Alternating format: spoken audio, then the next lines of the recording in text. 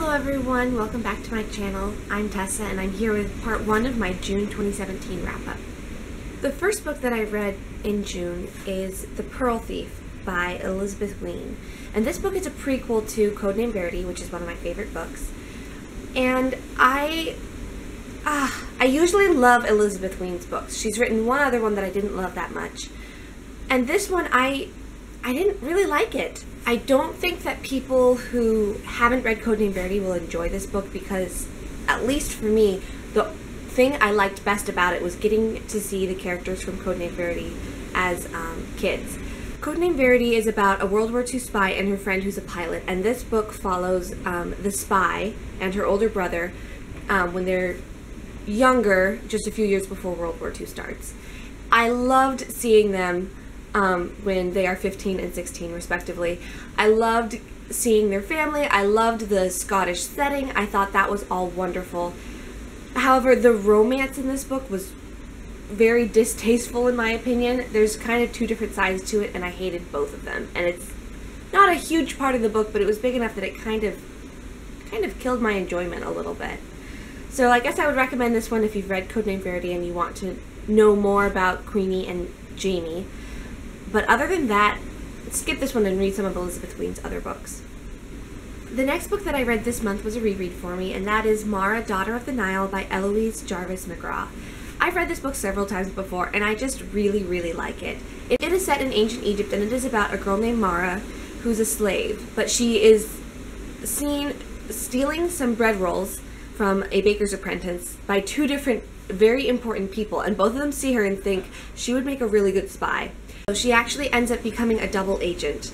Um, on one side, she's spying for a man who supports Queen Hatshepsut, and on the other hand, she's spying for a man who supports Queen Hatshepsut's younger brother, um, Thutmose III.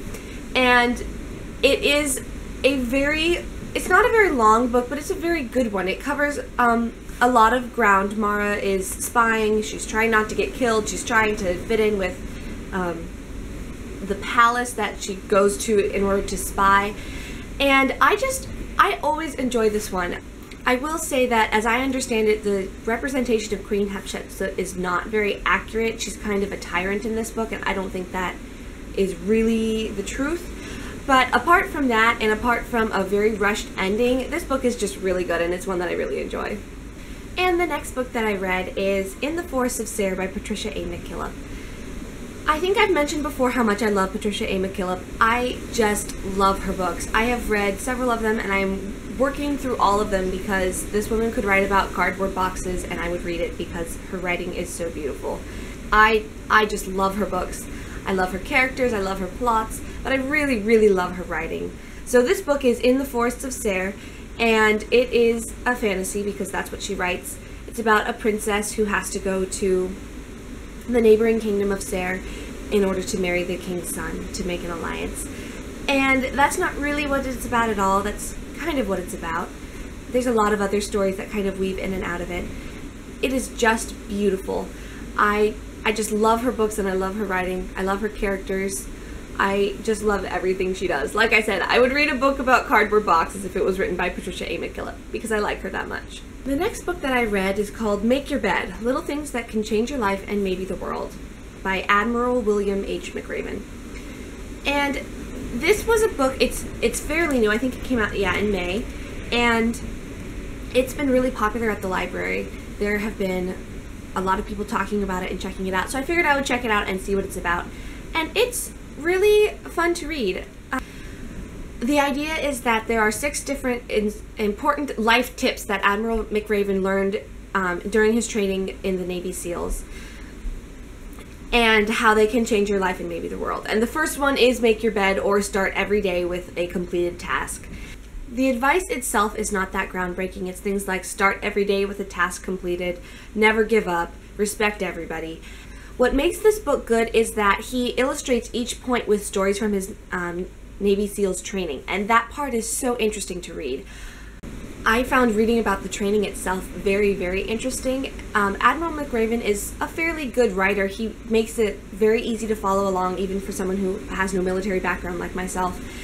And I just, I really enjoyed that part of it. It's a very short little book, so if you are looking to learn more about the Navy SEALs training or if you need some not entirely groundbreaking advice, check this one out because it's really fun to read.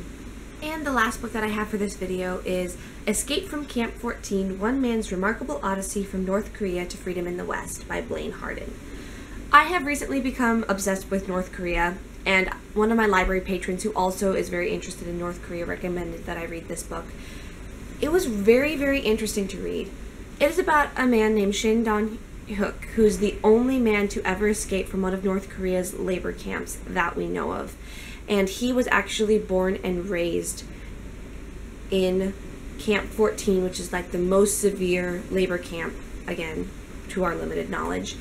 And so he grew up in this camp and he he never heard the word love until after he left. Like that's the kind of place that it was. He I I can't even talk about how horrible his childhood is as described in this book because there is nothing good in this camp. There is no love, there is no compassion, there is no Christianity, there is nothing positive in this. He is hungry all the time. He's trained to um, snitch on his friends and family, not that he really has much of either, in order to gain the like the respect of the guards and then maybe they'll give him more food. He's tortured, he sees his mother and his brother executed. It is horrific and the saddest part is that it ends talking about a speech that he gave after he made it out of North Korea and made it to the United States. And he talks about the fact that physically he's left the, the camps, but psychologically he's still there.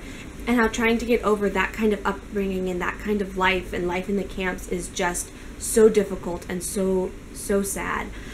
So I, I was firmly rooting for Shin by the end of the book. He is slightly an unreliable narrator not not in any terrible way, but he does say sometimes like this is what I told people when I first got out of North Korea and this is what I'm saying now. And the author is really good about kind of saying this like this is what Shin told me is true and this is what other people who maybe have similar experiences have said and that's why we believe him. So it's um it's a very thoughtful book. Blaine Harden does not just accept everything that Shin told him, but he is he does trust. Alright, my camera's died twice, so I think I'm done with this video. I am now reading One Good Knight by Mercedes Lackey, which seems pretty interesting so far, but I am right at the beginning. So thank you very much for watching, and please let me know what books you are currently reading right now, or if you've read any of the books that I've mentioned, what your thoughts on them were. Okay, see you next time. Bye!